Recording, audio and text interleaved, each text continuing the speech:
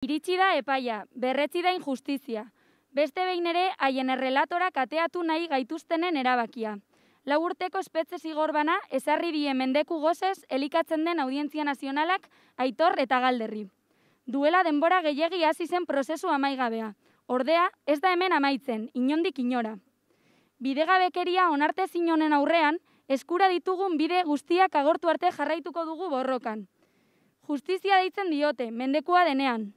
Anakronikoa dirudien hauzionek agerian utzi du beste behin zein den Espainiar justiziaren izaera, eta hau indarrean mantentzeko erabiltzen dituen mekanismoak. Epaiak berretzi besterik ez du egiten azken asteetan salatutakoa. Kompromiso eta jardun politikoa izan dela, hain justu, salbuespenezko auzitegian epaitu dutena. Ez da bi gazte arabarren aurkako eraso utz bat. Herri oso baten nahiak, desirak eta metzak zapustu nahi dituen eraso planifikatua, baizik. Gauza korrela, gaur hemen batu garenok, ez gara geldirik geratuko. Orain, inoiz baino gehiago, indarrak batu eta ankerkeria bide honi ateak izteko momentua dela deritzogu. Izan ere, sententzia honekin ez da ezer amaitzen.